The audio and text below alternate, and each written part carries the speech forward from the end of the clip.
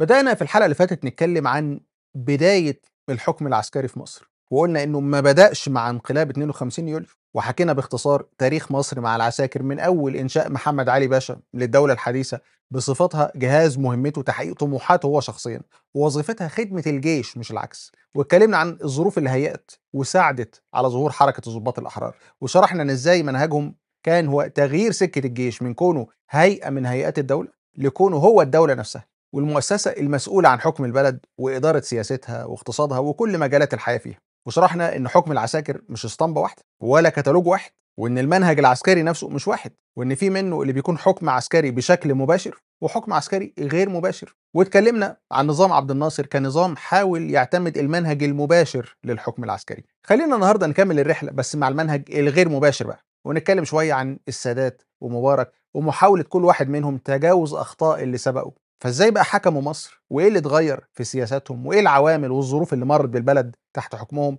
ووصلتنا لنقطة الانفجار في 25 يناير اللي ابتلينا بعدها بالسيسي. خلونا نشوف.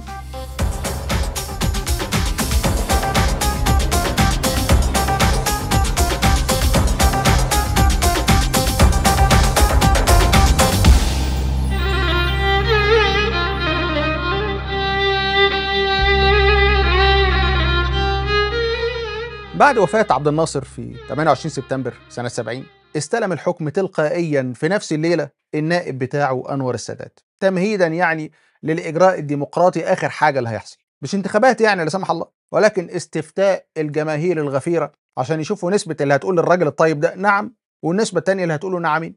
وبالفعل يتعمل الاستفتاء يوم 15 أكتوبر وتظهر النتيجة يوم 17 بحوالي 90% قالوا نعم. للراجل البعيد تماما عن دايرة صراعات السلطة واللي كان معروف ان ملوش أي وزن أو تقل يعني جوه شلة الحكم وما كانش بيتمتع بأي مكانة جوه تنظيم الضباط الأحرار. بالعكس كانت دايما الانطباعات اللي اتخذت عنه إن ظهوره سواء اعلاميا أو على المستوى الشعبي كان دايما في خلفية المشهد ورا القبضايات من قيادات مجلس الثورة. لدرجة إنه حتى بعد ما تولى منصب نائب الرئيس ما كانلوش حضور يذكر زي باقي أعضاء العصابة الحاكمة. أصحاب الأدوار والحضور الواضح زي عبد الحكيم عامر أو زكريا محي الدين أو صلاح نصر أو علي صبري أو شمس بدران أو أي حد من اللي كانوا تحت الأضواء ومرافقين لعبد الناصر طول فترة حكمه. في الوقت اللي فضل فيه السادات طول المدة دي حاصل على لقب رجل الظل. مالوش أي شعبية تذكر ومحدش مركز معاه أصلا. لكن السادات قرر إنه ما يعيش كتير في دور الفاترينا والواجهة السياسية للتنظيم. وما يفوتش كتير إلا ويقرر إنه يغير مساره من المشي في ظل عبد الناصر للمشي تحت الأضواء والزعامة. وشجعوا على كده الرقم الكبير اللي حققه في الاستفتاء برغم إنه كان عارف يعني إن دعم مراكز القوى الناصرية هو السبب الرئيسي في النتيجة دي لشخص يعتبر مغمور وقتها. وطبعا ده كان راجع لاطمئنان تنظيم الضباط الأحرار إن هم جايبين الشخص النموذجي والحيطة المايلة المثالية اللي هيستخبوا وراها. خصوصا بعد ما تعهد لهم هو نفسه إنه يفضل ماشي على مبادئ ومنهج الناصرية في الحكم. لكن السادات الحقيقة ما ضيعش وقت وبسرعة جدا انقلب على كل ده وخد قرار بالتصفية السياسية لكل مراكز القوى بعد ما حس إن هو نفسه بقى في خطر منهم ولقى إن الصراع معاهم هو صراع وجود في الأساس. يا أنا يا هم وإن وجود قوة عسكرية بتشاركه حرفيا في حكم البلد أو بمعنى أصح بتحكم من خلاله ومصدرينه بس في الواجهه بقى عشان ياخد هو الصدمات والتهزيء ويلبس كمان أي مصيبة من مصايبهم. ده غير إنه حس إن الانقلاب العسكري عليه يعني يبقى مسألة وقت على أقرب ناصية بقى أو أول كارثة يسلموه من خلالها للشعب. كل ده اتعامل معاه السادات وتأكد بينه وبين نفسه إنه مش هيبقى قادر إنه يفرض رؤيته السياسية على أرض الواقع إلا بعد ما يتخلص منهم كلهم. لأن كان واضح جدا من البداية إن رجالة عبد الناصر بصفتهم يعني كيان موازي بيحكم البلد بالمنهج العسكري المباشر خطتهم طول الوقت إن هم يحدوا من سلطاته نهائيا بحيث ما يبقاش قادر إن هو ياخد أي قرار من غير موافقتهم أو من غير ما يرجع ليهم. طبعا فكرة التخلص من العدد الكبير ده سواء بالسجن أو تحديد الإقامة أو على أقل تقدير الاستبعاد من المشهد السياسي فكرة ما كانتش سهلة.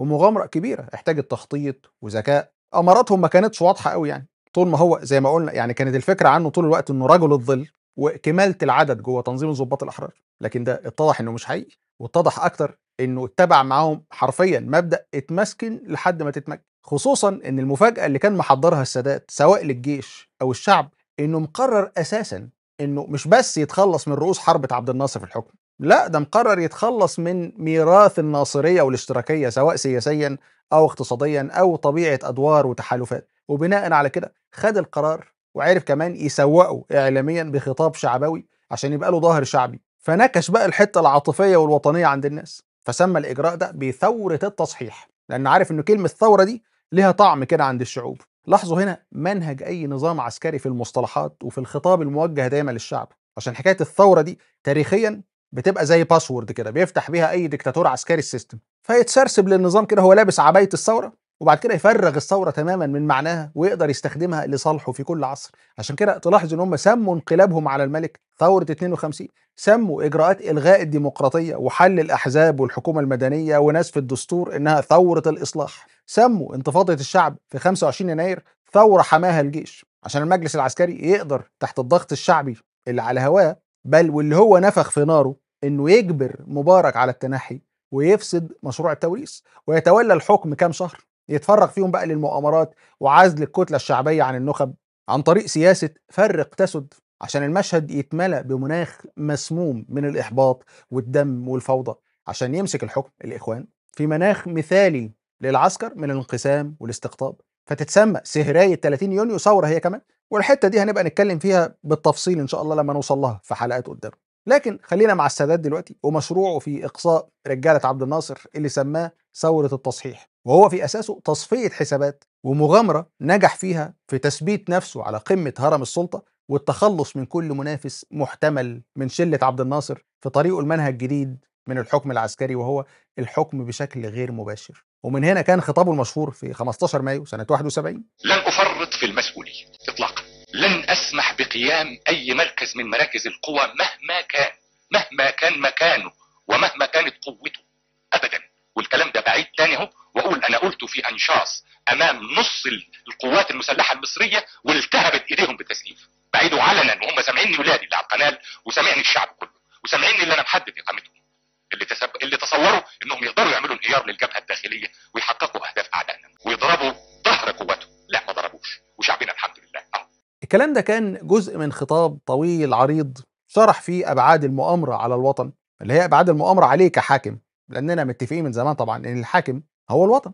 وكانت كفاءته المعروفة في الخطابة قادرة إنها تقنع وتشكل رأي عام وبالفعل نجح السادات في إنه ينفذ عملية نسف ما تبقى من أركان الحكم الناصري. وقدر ساعتها يستقوى بالشعب فاتحققت ليه أول خطوة في إنه يشيل من فوق صدره أي حد هيعطل مشروعه من الحرس القديم. عشان يفرغ الساحة منهم ويبدأ بقى عهده الجديد على نظافة ويقدر يرسم تصور جديد للمشهد في مصر وسياسة هتمسح المبادئ اللي قامت عليها دولة جمال عبد الناصر سواء السياسية أو الاجتماعية أو شكل النظام العسكري اللي قرر السادات إنه يكون غير مباشر وإنه يكون متليط كده قدر الإمكان بوش دهان مدني سواء في نظر الشعب أو قصاد أمريكا. القوة الغربية اللي شاف إن مصلحة كرسيه في انه ينول رضاها هي مش رضا المعسكر الشيوعي. وأصحاب عبد الناصر من الروس اللي زمانهم وزمن اشتراكيتهم ولا قصاد صعود راسماليه أمريكا. وسياسة الانفتاح اللي هترفع أسهمه عندهم أكتر. ومن هنا اعتمدت سياسة السادات على تقليل سلطة المؤسسة العسكرية ظاهريا كده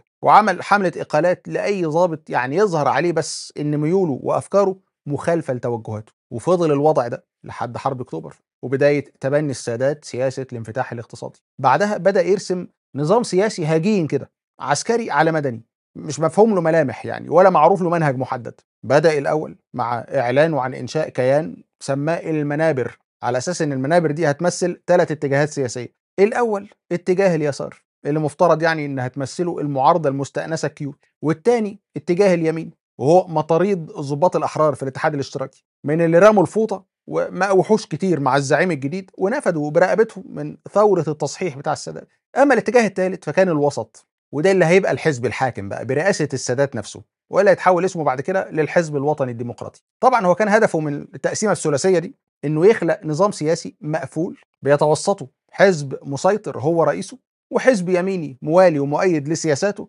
وحزب يساري يكمل المسرحية بشكل يبان معارض يعني. بس هو في حقيقته جزء من النظام واداه من أدوات الحكم العسكري الغير مباشر لكن حتى الفكرة دي فشلت. مش عشان لا سمح الله يعني النخب رفضت تأدي الأدوار الهزلية دي لا ده لأن أعضاء الاتحاد الاشتراكي اللي عددهم فوق ال 6 مليون عضو خلعوا أصلا من الحزب وانضموا للحزب الوطني لما لقوه هو حزب الرئيس والسلطة زي ما كان انضمامهم للاتحاد الاشتراكي زمان.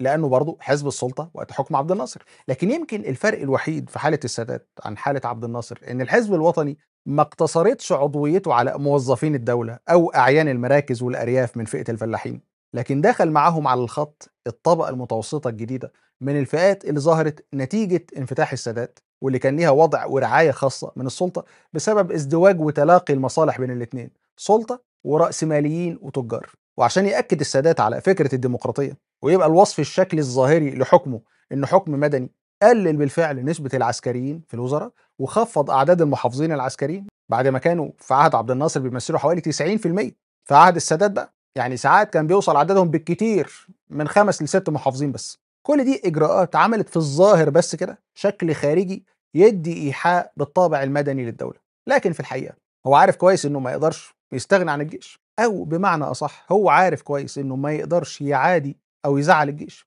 وحتى لو كان اللي ظاهر قدام الناس حقيقي وإن المكون العسكري في الظاهر ضعيف. لكن كل ده كان بيعوضه بإجراءات تانية تخلي الجيش حاكم فعلي للدولة. حتى لو كان دوره في الحياة المدنية مش بالوضوح والمباشرة بتاعة أيام عبد الناصر. ومن هنا قرر السادات وتحت شعار الاكتفاء الذاتي للقوات المسلحة. وكله بالقانون طبعا الناس تاكل وشنا يعني. قرر إنه يمنح الجيش استقلال مادي كامل عن ميزانية الحكومة. وقرر إنه يرفع النشاط الاقتصادي للجيش. ويعفي ميزانيته وموارده وأرباح نشاطاته من أي متابعة أو إشراف أو رقابة من الدولة وفتح له حسابات بنكية خاصة بيه. كل دي إجراءات كان منهج السادات فيها إنه يوزن الكفة ما بين إنه يحط بصمة لنظام حكمه اللي يبان إنه مدني وديمقراطي بس لمصلحته وما بين إنه يمشي مع الجيش بمبدأ اطعم الفم تستحي العين ويأمن كرسيه من أي أسباب للانقلاب عليه خصوصا إن الإجراءات دي جت في توقيت اتفاقيات السلام. ثم معاهدة كامب ديفيد. وكل مظاهر الانبطاح والتبعية لأمريكا ونشر مفهوم الانفتاح والثقافة الاستهلاكية اللي ضربت في المجتمع كله وخلت الكل باصص على مصلحته. بما فيهم الجيش. بعد ما تحول من جيش الاستنزاف والعبور لجيش كامب ديفيد المأنتخ عسكريا لكنه ناشط تجاريا في كل صنوف بقى ال business والسمسرة وتجارة الأراضي والعقارات وخلافه. ويمكن أكبر دليل يأكد لنا إن الجيش ما كانش متضايق من وضعه الجديد. أو عنده مشكلة في فكرة تقليل وجوده في الحياة السياسية. هو اللي حصل في يناير 77 والمظاهرات الضخمة اللي خرجت بتحتج على سياساته الاقتصادية وقرارات رفع الدعم عن السلع الأساسية. ودي كانت المظاهرات اللي زي ما كشفت عن الوش الثاني للرئيس المؤمن الديمقراطي كشفت له كمان عن ضعف منظومة جهازه الأمني زي ما حصل بالظبط في 28 يناير 2011 وكشفت له أكتر خصوصا بعد انهيار الشرطة تحت زخم المظاهرات وأعمال الشغب والتخريب إنه فعلا ما يقدرش يستغنى عن الجيش. الجيش اللي استجاب لاستغاثته واستدعائه للشارع وبالفعل قدر الجيش يلحق الموقف. ومش بس كده ده قدر يساعده في الغلوشة وتسويق اللي حصل من مطالب مشروعة وغضب شعبي حقيقي كان له أسبابه ومبرراته. سوقوه على إنه مؤامرة من الشيوعيين ومحاولة من تنظيم ملهوش وجود ولا تأثير إلا في خيالهم إنه يقلب نظام الحكم. كل الكلام ده مكنه من القبض على عدد كبير والتنكيل بأكبر قدر ممكن من المتظاهرين. عشان يبقوا عبرة لغيرهم. وسماها السادات نفسه بأنها انتفاضة الحرامية. وبعد كل ده توصل مصر سنة 81 لمحطة جديدة من محطاتها مع الحكم العسكري. سواء كان مباشر في حالة عبد الناصر أو مزدوج أو غير مباشر في حالة السادات. وبعد كل محاولات السيطرة واللعب على الحبال اللي عملها السادات عشان يوزن الكفة ويحافظ على كرسيه تنتهي حياته نفسها بالاغتيال في قلب البيت العسكري ووسط رجالته اللي حافظ لهم على نفوذهم سواء السياسي أو الاقتصادي من خلال تنفيذ إجراءات يعني ساهمت في نفخ كروش وجيوب القيادات عشان يقدر يحافظ على ولائهم ويحمي كرسيه من أي محاولة للانقلاب عشان يستلم من بعده السلطة عسكري تاني عينه قبلها بأيام بسيطة نائب ليه وهو حسني مبارك. اللي دخل المعجنة دي وهو جواه كوكتيل من الهواجس والكوابيس سواء هسهس للانقلاب العسكري عليه أو هسهس لاغتيال. فبدأ مشواره مع السلطة وهو مقرر إنه يمشي على منهج السادات في طريقه حكم الجيش الغير مباشرة زي ما إحنا كده بس مع اختلاف بسيط في التفاصيل. تقدر تقول إنه قدام شوية وهو إنه بجانب إنه ما عندوش اختيار غير إنه ينمي ويكبر قوة الجيش الاقتصادية ويعين عساكر كتير في مجالس إدارة الشركات الحكومية لكنه قرر الاعتماد على جهاز الشرطة وإنه يسند مسؤولية أمنه الشخصي وتأمين استقراره على كرسي لكل قطاعات الشرطه من داخلية ومخابرات عامة وأمن دولة. بنسبة أكبر بكتير من اللي سبقوه لدرجة إن مثلا يعني في اللي يخص ميزانية وزارة الداخلية كان استلم السلطة وهي حوالي مليار دولار وشوية لكنها وصلت على سنة 2000 لحوالي 3.5 مليار. ودي لوحدها كانت ثلاث أضعاف ميزانية وزارة الدفاع. ووصل عدد أفراد الأمن في جهاز الشرطة لحوالي مليون فرد وزود عدد قوات الأمن المركزي لحوالي نص مليون. وده برضه عدد يساوي تقريبا ثلاث أضعاف أفراد الجيش. ده غير إنه فتح السكة لقيادات الشرطة في حوار البيزنس والاقتصاد زيهم زي العسكريين زائد الكارثة الكبيرة بقى بترويج انحياز ودعم الداخلية للجنة السياسات وتأييدها ولو بالإشارة والتلميحات كده يعني لطموحات النانوس الصغير في وراثة عرش أبوه وده لوحده كان خط أحمر عش دبابير فضل جمال مبارك والحزب وشلته من رجال الأعمال وأعضاء الحزب الوطني يقربوا منه يوم بعد يوم. كل ده وبرغم إن مبارك ساب للعساكر سبوبتهم زي ما هي وكمل على اللي بدأوا السادات في زيادة النفوذ الاقتصادي للقوات المسلحة وعمل سيستم جديد يسمح باستيعاب أعداد كبيرة من العسكريين جوه النظام الإداري للدولة. وفي عهده زادت جدا نسبة تسكين المتقاعدين من العسكريين في مناصب كتير في المحافظات والمحليات وغيره.